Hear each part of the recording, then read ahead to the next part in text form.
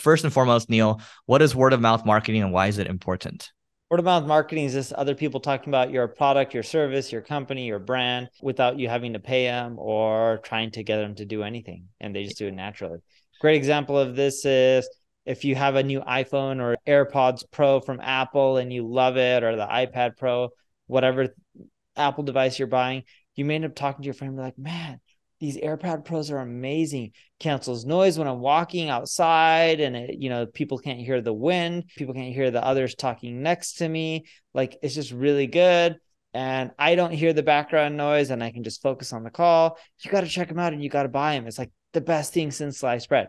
That's an example of someone evangelizing a product and using word of mouth marketing to really grow a company. And if you look at most of the big companies, like Apple and Microsoft and Google, yes, they spend money on advertising, but a lot of their growth, the majority of it, just comes from word of mouth marketing. So Seth Godin always talks about uh, he has a book called Purple Cow, right? The reason why it's called Purple Cow is because it just talks about standing out. And there's another book called Linchpin, which just means becoming indispensable, right? Those two are kind of similar in that the when you create something that's so good, it becomes remarkable and it becomes um you you probably don't want to throw it away, right? And so Neil, what Neil's getting at initially is he's talking about the product itself, but in the world of marketing too, it's the the the level of your your offer, right? And sometimes your marketing might be so good that that in itself is remarkable. So when we think about the Harmon brothers, for example, when they do the squatty potty ad with a unicorn pooping out rainbow ice cream, that generate generated, I believe, over $20 million in sales. And that's remarkable, right? And so you got to think about whenever you're creating an ad, whenever you're creating an offer, whenever you're creating a product, how can you make it remarkable and not just try to cut corners? Because that's what's ultimately going to help you generate word of mouth, right? Something that's really good, so good that they can't ignore you, right? You want to make something like that. That's one way of going about it. But one thing that's practical that's more engineered, I would say, is a lot of people in tech like to use the Dropbox example of like, oh, you know, they created so much word of marketing, you know, the referral program, right? That is a way to do it to an extent. I'm just saying it as as it is a way, but I don't necessarily think it's the most effective thing because after everyone used that example, everyone tried to emulate it, didn't really work out for most people, right? So it's got to be a really good offer. Yeah, the the Dropbox model was if you want more free storage space, tweet it out, share it, link to it, tell other people about it. More users you invite, the more free space you get. That's how they grew to like an eight or 10 or whatever billion dollar company. I think the best way, you know, a lot of people say the best way is to like create amazing product or service. I agree with that, but that's hard to do. And I'm not trying to talk crap, but most people can't create products like Apple. You know, I can't. You know, it's hard to create products like uh, Elon Musk tries to create. But on the flip side, you know what is a really easy way to generate word of mouth marketing? Go find out what people are charging for in your space that everyone is used to paying for. Not some people are used to paying for, but everyone's used to paying for. Like, you know, the only solutions are paid and figure out how to create a free version of it. Great example of this I did with Ubersuggest. I ended up buying Answer the Public. You know, even if you don't create the best product or service out there, if it's free and people don't have to spend a hundred bucks a month or a thousand dollars or whatever it may be, people love free. And you know, Dharmesh Shah, uh, the co-founder of HubSpot, talks about this in one of his speeches. A lot of people in marketing and business think about freemium what can you give away for free? And what are the good features that you can end up gating off and then charging for? Well, the problem with that model is, is you're gating off the good stuff that people really want and the free stuff they don't find as much value for. Hence, you're charging for the stuff that's gated off. But his model that he ran this playbook years and years ago with HubSpot with with their marketing grader was how can you just end up giving away something for free? and then finding something else that you can sell that can make up for everything. So, for example, in my business, we give away a lot of software for free that others would charge for because we'll sell consulting services at my ad agency, which make up for a lot of the cost for giving away stuff for free. On the flip side, there was an e commerce company that was selling toothbrushes and mouth cleaners. And, you know, their whole pitch was, we're going to help you make your mouth smell fresh 24 7. And what they would do is they would say, hey, we're going to give you this tongue cleaner or toothbrush. It was one or the other for free. Just pay for shipping. And people like, yeah, sounds good. This is a great deal.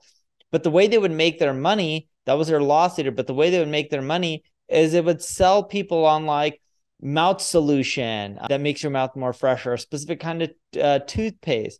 They'd have all these upsells to make back their money for giving away their quote unquote front end for pretty much free. I get they were charged for shipping, which helped recuperate some of their costs as well. But the point I'm getting at is you can give away a lot of stuff for free that can get people in the door. And that creates a ton of word of mouth marketing. And then figure out something more expensive to sell that can help you recuperate all your costs plus more. Yeah, when it comes to word of mouth marketing, I, the, the final thing I'll say is bringing it back to all like even what Neil's saying too. It's it's just an irresistible offer, right? And so with Answer the Public, Uber suggests so he's basically giving away free SEO tools, right? Uh, where other people would pay 50 hundred dollars a month plus for, right? That's a damn good offer, right? And so what can you do that's remarkable? You don't necessarily need to create like a, an iPhone or something like that, but you can still create a really good offer. And you know, we we have our our friend, you know, Alex Hormozi, who has his book 100 million dollar offers. It's 99 cents. That that in itself is a good offer. And that book is going to teach you how to create good offers, right? And then you can apply it to whatever service or whatever product that you're doing. The final thing I'll say is I think about recently on, on YouTube, you have this guy, uh, Neil, do you know who CoffeeZilla is? No. Okay. So CoffeeZilla is a guy that basically he's like a like a detective, right? He kind of online detective. He goes around exposing people's like scams and stuff, right? He's like, and then recently he exposed. It was a three part series where he exposed uh, Logan Paul for like a crypto scam, right? And it was a three part series.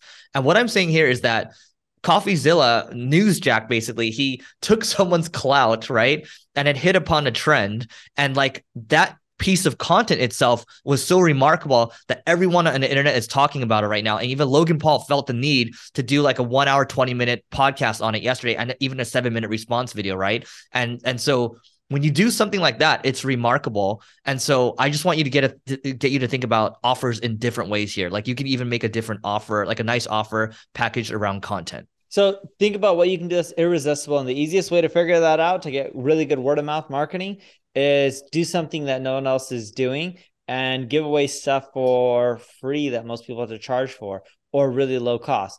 Amazon did a great job of this too earlier on. Sign up for a Prime membership for I think it was 99 bucks back in the day. I don't know what it costs right now and get free 2-day shipping. And now, if you're a Prime member, a lot of times I get free next day shipping, which is kind of crazy. If I order in the morning, sometimes I get it the same day. Did you see the report they did on this? They, they did a report. I, I read this a couple years ago, but a Prime member's LTV or lifetime value is substantially higher than a regular user. And so th- I think they had like a bunch of actuaries, so a bunch of math whizzes, um, do this in the beginning because everyone was like, "Dude, we're gonna lose so much money doing this, like the the two day shipping thing." And it actually ended up working out because Jeff Bezos thought so long term. So that's what it is. Anything else, Neil? Oh, that's it. We're getting a lot of people saying, "Hey, I want to get into marketing for next year. Where should I go to learn?" And there's a lot of tools, SEMrush, Ahrefs, Ubersuggest, Answer the Public, the list goes on and on. There's a lot of places you can read, Single Grain, neilpatel.com, Search Engine Land, Backlinko, HubSpot, and the list goes on and on. But there's one thing that you need to focus on if you want to be a better marketer in 2023. You got to experiment and you got to start marketing your own website. The best way to actually improve, it doesn't matter what level of a marketer you're at, is to create your own website and practice on it. If you want to get better at paid ads, run paid ads on your own website. Try to sell something or collect leads. If you want to get better at SEO, try to rank your own website. If you want to get better at CRO, optimize your own website conversion. If you want to get better at email marketing, collect emails, test different copies and subject lines, send them out, see what converts. You got to actually practice. When, when you're not practicing and experimenting and testing different things on your own website, you're not going to be an amazing marketer. That's how you learn marketing. That's the best way. Yep. So, in terms of how you can become the ultimate marketer, I'm just going to share a story here. So, when I first started learning marketing, I was working a full time job. It was a dead end job doing data entry, and I was like 21, 22 years old.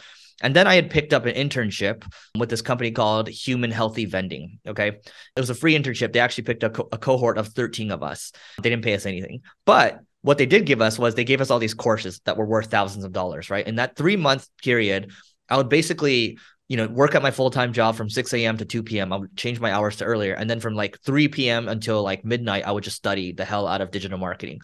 And like that was nice. And we we did get to implement, you know, build out these websites. And we realized later it was for SEO purposes. but my point is that was nice, but it wasn't enough, right? If you are trying to get better, you have to put your hand on the stove. You have to actually experience things for yourself and you actually have to go experience these trials, right? Because there's no struggle without vic- there's no victory without struggle. And what happened was then I ended up I, have shared a story in the past on this podcast where I built my light show videos website, right? And I was like, yeah, you know, I, I like going to EDM concerts and I like the light shows. I'm gonna rank number one for that. And then you know what I realized? Two, three months later, I was ranking number one and that keyword didn't have volume. Okay, lesson learned, right? Like doesn't matter what like all the things that I read. And, and oh, okay, I learned my lesson there. Oh, okay, let's let's build this um how to get rid of pimples website. Okay. Oh, and then what I did, I, I bought all these these cheap links from these like black hat forums and then I paid Textbrokers or whatever for these like 25 to 50 dollars articles. And then all of a sudden the site started getting like thousands of visits a month. I was like look I made it. I freaking made it. And then what happened two days later? The site got torched. And so you have to learn you have to have some trial by fire or else you're really not going to learn. Because if you just keep learning like by reading things you're just going to be a professional student. Yep. So go and experiment, try stuff out on your own website. If you don't have one, create one. That's how you become a better marketer in 2023. Yeah. The final thing I'll say too is that's not to say you could you you shouldn't listen to like podcasts like this or check out YouTube or read things, right? I think it might be, you know, 10 to 20% is is reading. The the rest of the percentages is maybe doing, right? Maybe a little when you're a little earlier in your career, maybe it's a little higher on that, but you have to keep experimenting, you have to keep doing. And especially when you look at the cost to start up a website or or, or build an app today it's a lot cheaper. You can use you know tools like webflow you can use squarespace. I mean you can use chat G or sorry not chat gpt you can use you know these uh, ai tools to help you build landing pages as well right? So there are a lot of different ways to do it. You just have to go out there and do the big thing that i always tell people is experimentation it used to be where if you create long form articles, you did really well with content marketing. It used to be if you created videos, you do really well because it was novel. It used to be that if you just create a podcast, it'll do well because there wasn't as much competition. Times change, market conditions change. One strategy doesn't always work forever. But the thing that has helped Eric and I do well with our content marketing is we always experiment you got to keep trying new things. You got to look at the trends. You got to see what other people are doing that's hot and see if you can take a little bit of that and integrate it within your strategy to see if you can do well.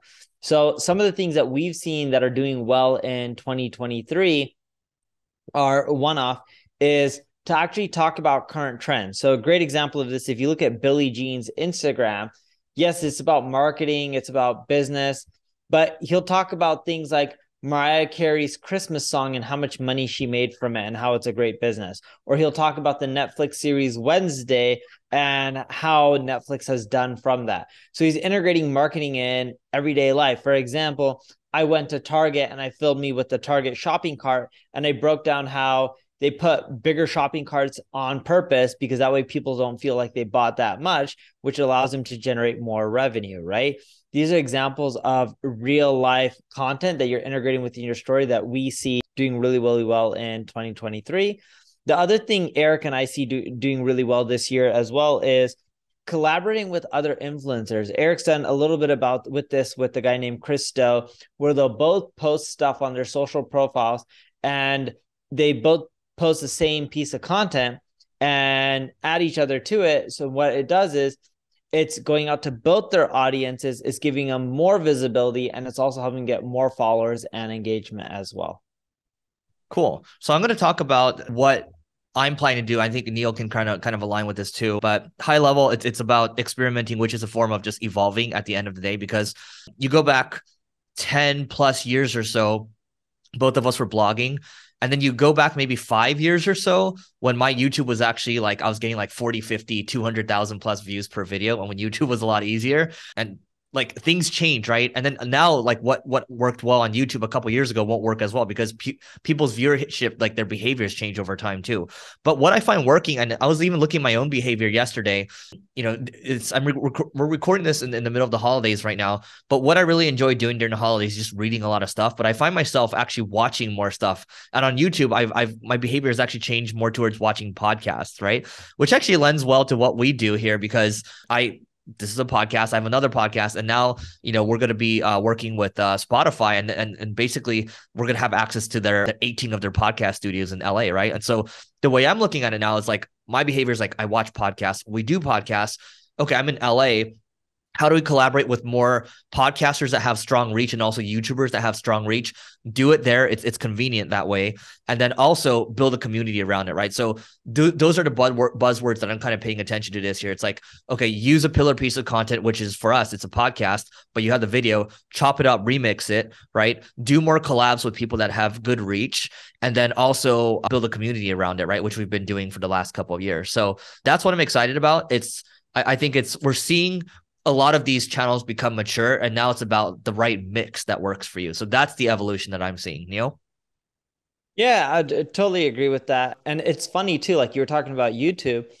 You know, if you create long form videos on YouTube, that's fine, but YouTube is trying to push hard into the shorts game. So it's like if you're not creating the content that they want, you're not going to do as well. And it just comes back to if you want to do well, yeah, you can copy what Eric and I are planning on doing this year. But more so, you need to get your team, yourself, everyone aligned with continually test and experiment and see what's working and double down on what's working and you know do less of the stuff that isn't. Yeah, final thing I'll say from my side is it, Neil kind of uh, brought up a good word, team, right? And so a lot of you might be working with contractors right now, or you might have full timers on your content team it's really important, in my opinion, to align with these people because whether it's a weekly thing or a bi-weekly thing, just to talk about what you're seeing and what you would like to see with your content, because they can't read your mind. And so I, have had to learn that multiple times over the years, right? It'd be nice if everyone could read your mind on certain things, but it's really important that you're clear and you say, hey, here's the vision, here's what I'm seeing this person, you know, X, Y, and Z doing, and I would like to do it this way. And then you can continually iterate, right? And that goes back to the evolution piece and that goes back to the experimentation piece. There's a few things that you need to keep in mind. I'll go and then Eric, feel free and add whatever you want to add. I know you've done influencer marketing as well. The first thing that I've really seen is if you focus on influencers with follower count versus engagement, you're going to be screwed because if they're not engaging, that means they're probably never going to buy from you. The second thing is if their following isn't 100% related to your products and services, you're going to be screwed. So don't go after the Kardashians. That's always the example I love giving because their follower base is too broad and it's going to cost too much money. You also want to go after micro influencers on that same note. So the more specific the influencers are, the more well known they are within a space, the better off you are. Then you also want to make sure that when they post about your product or service, they just don't do a promo they showcase using it, the results, why they like it. They really go in depth. And then when they tell you to go to the website or whatever landing page that they're sending them to, you want to make sure that they're also on your landing page. So it's congruent. So that way they just didn't feel like they're pushing their followers don't want to feel like they're just being pawned off to some other company and just being sold all the time. But when the messaging is congruent, it just does way better. So you want to make sure the follower or the influencer, not the follower, the influencer is also on the landing page on your website where they're driving the traffic to, and each influencer should have their own page. You also want to rotate through them. If you use the same influencer for years or even sometimes months, the results aren't always that good. What we found is when you rotate through them, it's much better. And you also want to have a big slew of them, not one or two, not even a hundred. I'm talking about thousands if possible, and continue to rotate through them and use all the ones that are profitable, cut the ones that aren't, and continually add and try to find more and experiment until you get it right. I'll, I'll keep mine brief. So actually, Neil and I we have a we have a mutual friend, and he actually sold his company for a couple hundred million dollars, and he actually got in on like the Kim Kardashians of the world back when they actually weren't doing much influencer marketing. So you have to you have to buy low, sell high, right? And it actually worked out well for him because it actually was related. It was a beauty brand, right? And so yeah. um so and he bought low and he did sell during the peak of the market too. yep. Yeah, both, both. So he timed both really well. And so that is kind of an example of where it's like they were big influencers, but they were kind of like micro because influencer marketing wasn't really a big game at the time, right? So it's all about timing. There are other there, there's some there's a handful of tools that I want to call out here. You want to look at engagement. Mighty Scout is one tool that you can use to check out engagement for different accounts. SparkToro is the the tool that's created by Rand Fishkin, and you can enter in like you know marketing influencer or whatever, and you can actually find it. There's like it actually has pretty good listings of like top podcasts, you know, Twitter profiles, and I show like the engagement rates and all that too. So you know, I, I think the move there is just to because it's charged monthly, you just turn it on for a month or so and then turn it off.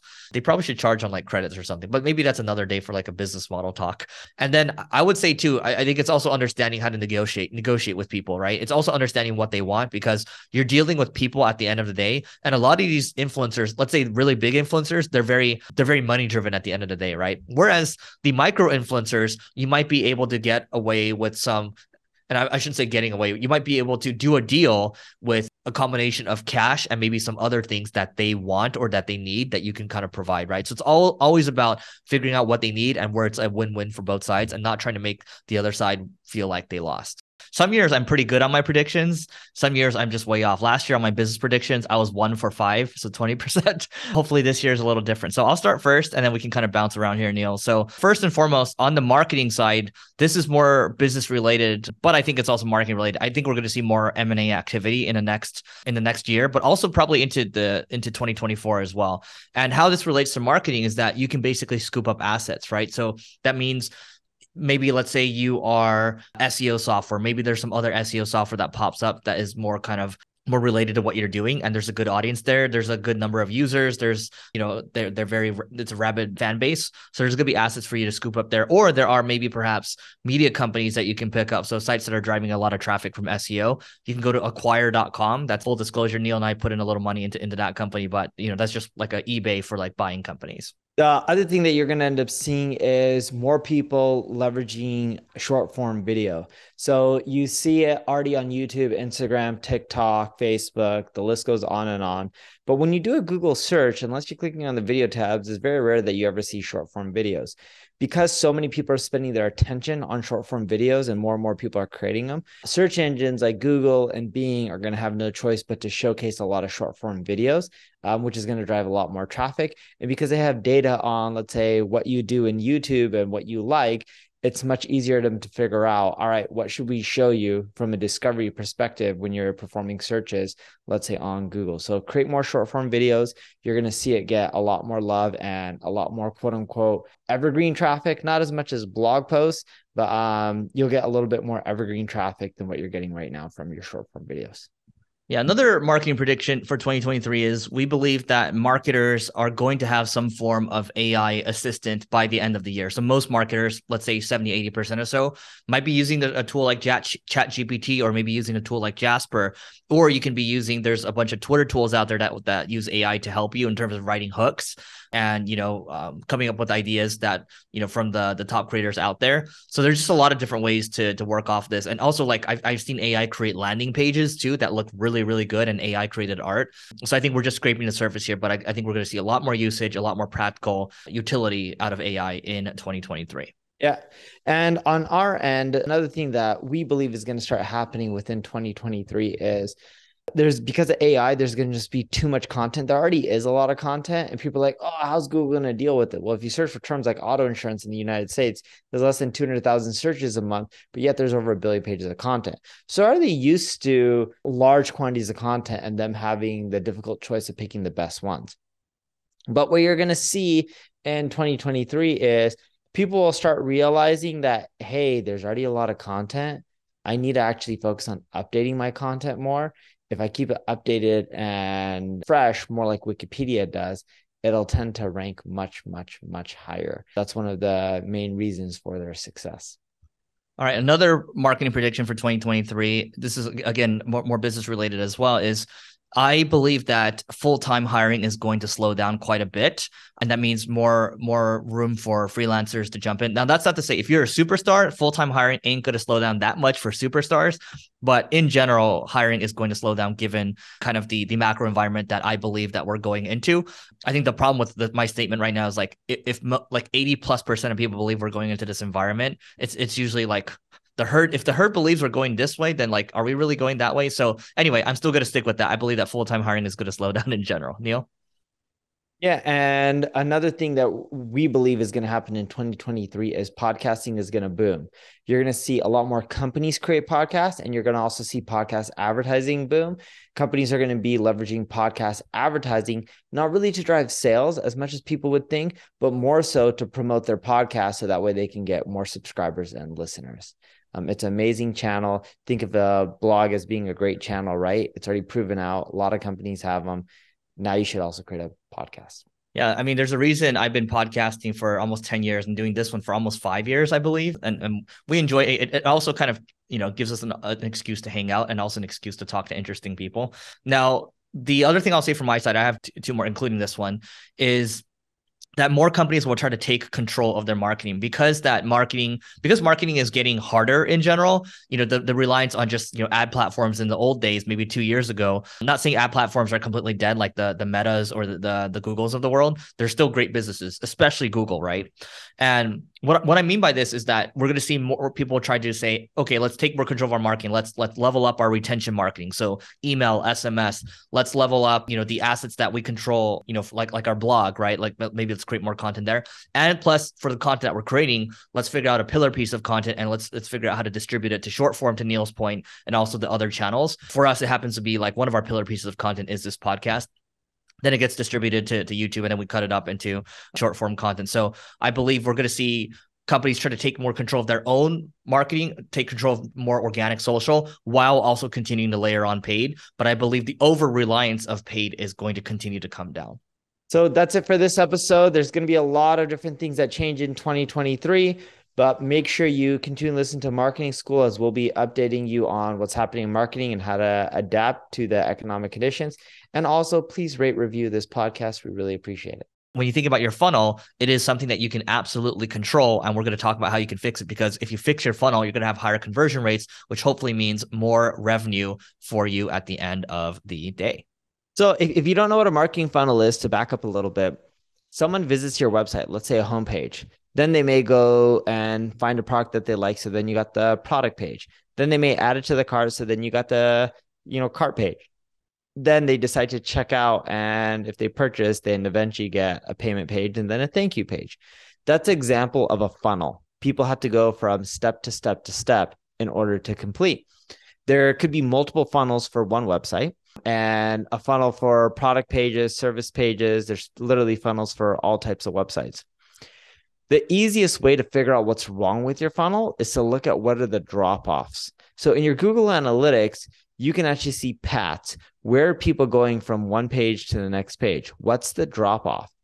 The bigger the drop off, typically those are the pages that have the most issues. Those are the pages that you want to focus on first to improve. And what you can do is you can run qualitative surveys on those pages to try to figure out what objections people have, what issues they have on why they're not converting. If you then take that data, run A B tests through Google Optimize or any tool you want, and tweak your copy, tweak your images, answer the objections that people had. What you should see over time is you should see the drop off rates decreasing and more people completing the overall funnel.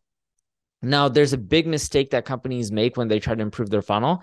They optimize for reducing the drop off for each rate, and that's their end metric. That shouldn't be your end metric the real metric that you should track success is conversions. So even if the drop off decreases, but it doesn't cause more conversions, it doesn't matter.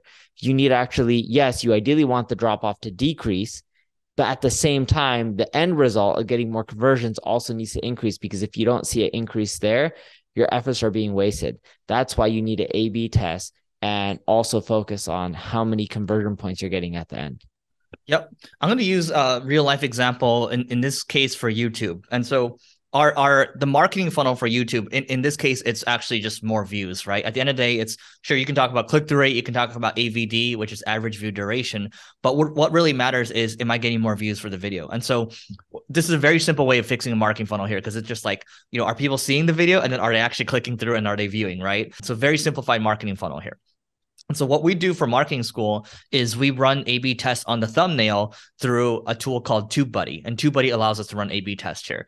And the beauty of that is that you know, for example, in some cases we'll test like an image of Neil and I combined, and then like with an image of a Tesla because we're talking about Tesla, right? And then we might show like a just a Tesla, like we'll show the car in one, and we'll show maybe the logo in the other one, and then one might perform you know 2x better or something like that. And then you know test gets st- statistical significance and then it automatically just switches to that one right? And so that that's an example of testing our marketing funnel. I think too many of us we kind of take things at face value and then we do one title one thing thumbnail and we're done. But when you take it to the extreme and you look at like a mr beast for example he'll make he'll make like five or six thumbnails and you spend like you know hundreds of thousands of dollars just testing the hell out of this stuff. And that's all to just get more views get a higher click the rate at the end of the day. Because let's say you're getting 10 million impressions on a video if you're getting a 10% click through rate well then at the end of the day you're getting 1 million uh, views right if it's 5% then you're getting 500k and so th- this is like we're talking high level here, but this also applies to your business, right? And so whether you look at a form, you could be running a type Typeform. Typeform does a good job of showing you where drop off is.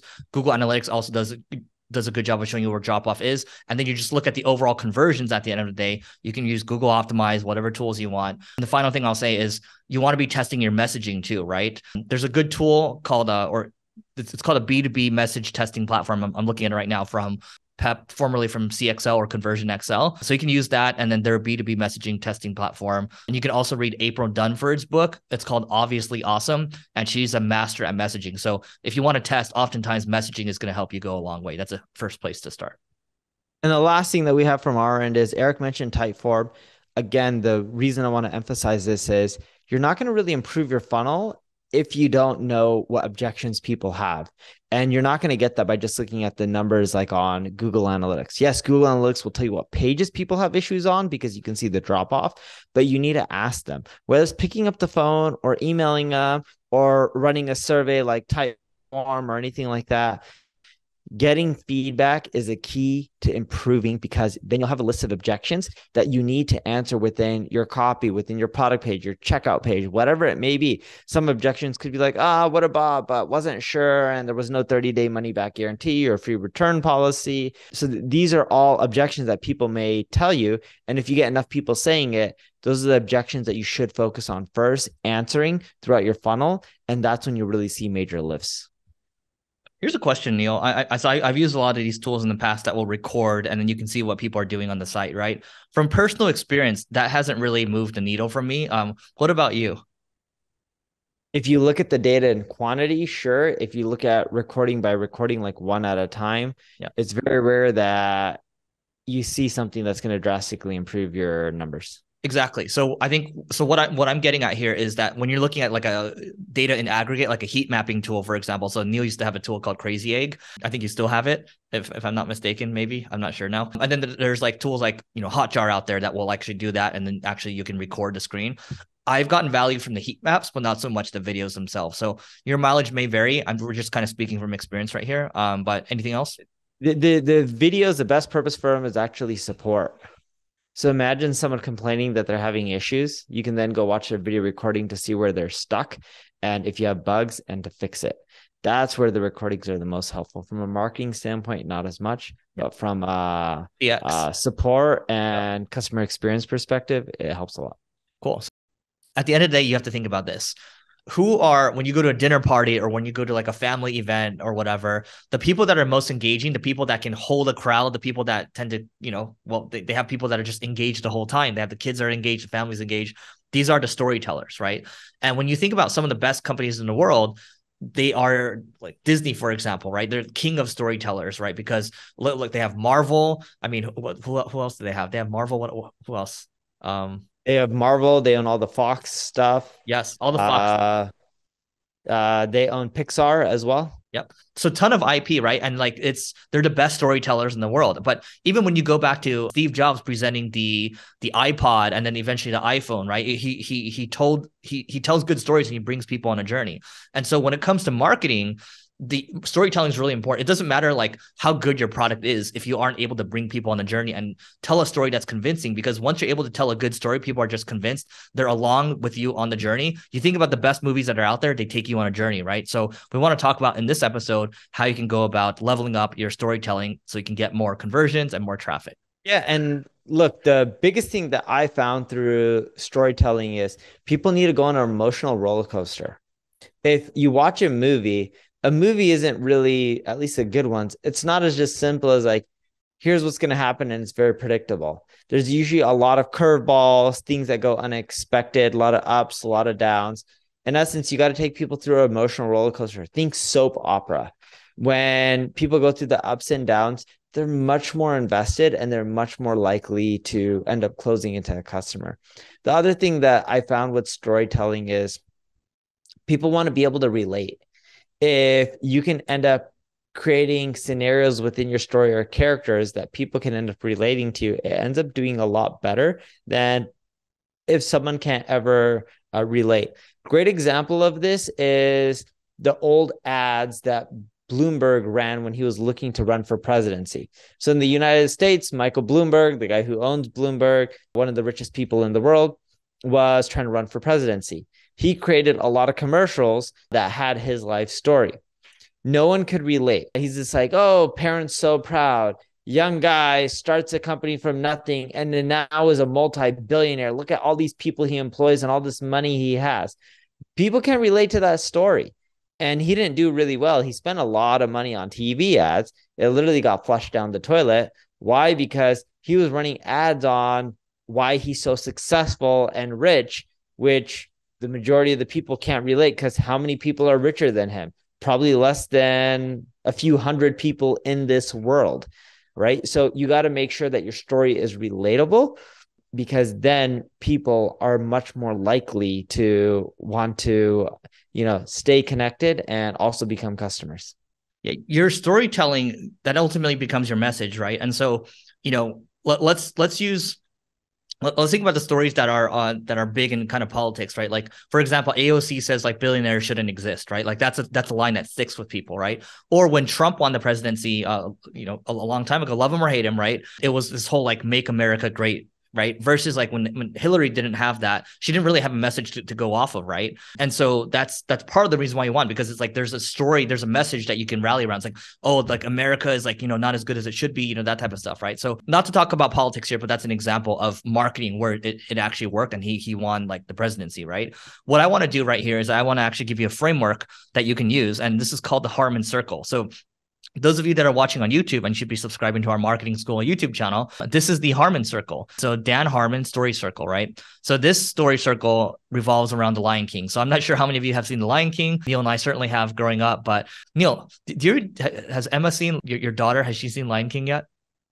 No, she's too small for movies. She's not there yet. Okay, cool. So she will get there. I, am I'm assuming you're going to have her watch it. But if you start yeah. in the red section over here, this is the very beginning, right? So the framework is you need, go, search, find, get, return, change. And that's a mouthful. You're probably going to have to study this a little more. It's a short podcast. Wait, to, to repeat, again, it's you need, go, search, find, get, return, and change. And Eric, you want to give an example yep. of each of them?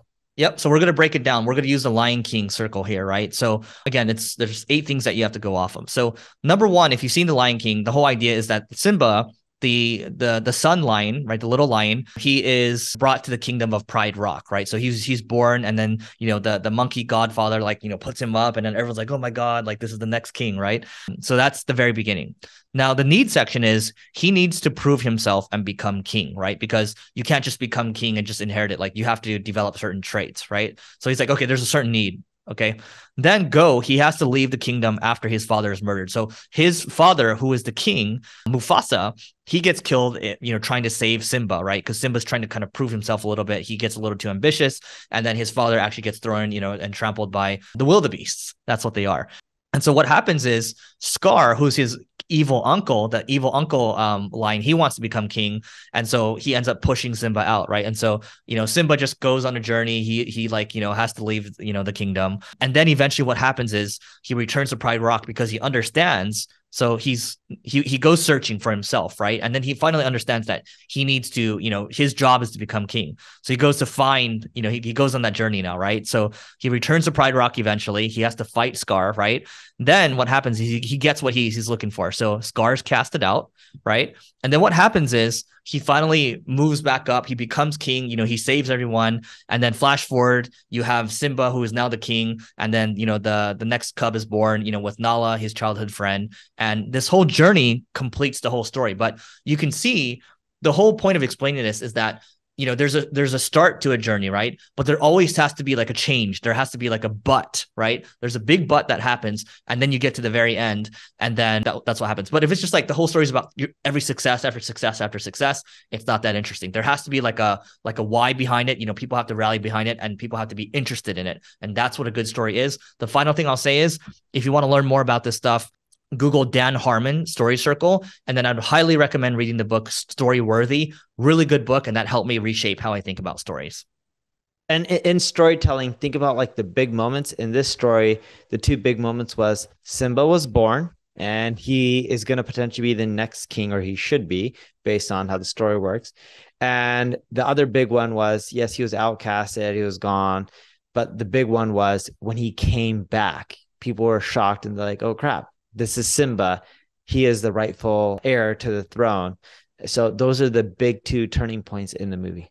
Yeah. The final thing I'll say, so to to add on, I actually made maybe this is reinforcing your point, Neil. But uh, so the, let me give you the eight points again. So it's you need, go, search, find, get, return, change. It's actually right in the middle where it's the the search portion where like you you go you search for what you're looking for and then you actually find that what you're looking for isn't what you wanted. Like what he went to search for, which is like freedom to get away from all that crap, is actually not what he wanted. He's like, you know what I really need? I need to become king again. I need to be become the rightful. I'm the rightful heir. I should become king again. So that is it for today. Hope you enjoyed this episode. Let us know what you think in the comments. And don't forget to rate, review, subscribe. It helps us grow.